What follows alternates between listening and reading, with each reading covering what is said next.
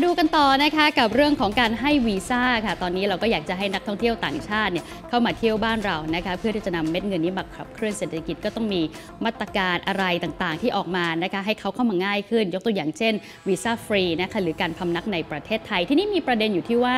การพำนักในประเทศไทยของชาวต่างชาติเนี่ยจะเป็น 30 วันหรือ 60 วันนะคะในมุมมองของคุณสิริวัฒน์ชีวรัตนพรค่ะนายกสมาคมไทยธุรกิจการท่องเที่ยวหรือแอ ตตาบอกว่า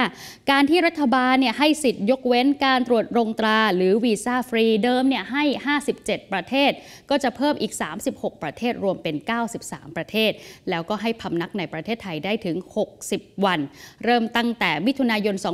2567 เป็นต้นไปนั้น ในส่วนของการ เพิ่มนะคะประเทศที่ให้วีซ่าฟรีถือเป็นเรื่องที่ดีกับธุรกิจการท่องเที่ยว แต่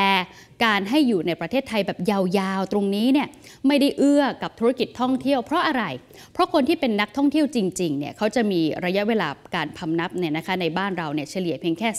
10-20 วัน การอนุญาตให้พำนับในไทยได้นานถึง 60 วันตรงนี้ ก็มีความสุ่มเสี่ยงว่าจะเข้ามาทำอย่างอื่น คือเกรงว่าจะเข้ามาทำงานมาแย่งอาชีพของคนไทยค่ะทั้งนี้การยกเว้นวีซ่าให้ 30 วันก็พอแล้ว ซึ่งนักท่องเที่ยวจากภูมิภาคยุโรปที่มีวันหยุดพักร้อนก็อยู่ประมาณนี้แหละสำหรับชาวรัสเซียที่อยู่นานก็ด้วยเหตุผลว่าเขาหนีสงคราม นักท่องเที่ยวจีนมาเที่ยวไทยก็เฉลี่ยประมาณ 7-10 วัน ส่วนนักธุรกิจที่ต้องใช้เวลาพำนับที่ผ่านมาก็มีวิธีในการยื่นขอวีซ่าอยู่แล้ว ต้องเข้าใจว่านักท่องเที่ยวจริงๆเนี่ยนะเขาอยู่ไม่นานมาก ส่วนเป้าหมายการสร้างไรายได้ท่องเที่ยวนะคะของทนายกรัฐมนตรีคุณเศรษฐาทวีสินที่กำหนดว่าปีนี้อยากจะเห็น 3.5 ล้านล้านบาทนั้นก็ต้องช่วยกันลุ้นค่ะ ซึ่งนักท่องเที่ยวชาวต่างชาติ 35 ล้านคนในปีนี้เนี่ยได้แน่ๆ เพราะ 5 เดือนแรกของปีนี้ก็มีนักท่องเที่ยวต่างชาติเดินทางมาแล้วกว่า 14.32 ล้านคน สร้างรายได้นะคะ 682,975 ล้านบาทด้วยกันค่ะ แต่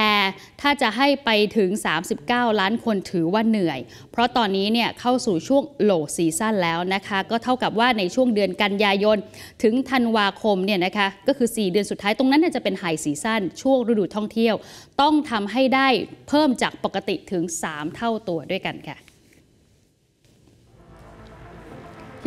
ขอบคุณสำหรับการติดตามรับชมรายการย่อโลกเศรษฐกิจนะคะ อย่าลืมกด subscribe กดกระดิ่ง กดไลค์ กดแชร์ในทุกช่องทางออนไลน์ของ TNN ช่อง 16 นะคะ แค่นี้คุณผู้ชมก็จะไม่พลาดค่ะ รายการสดและก็คลิปดีๆอีกมากมายค่ะ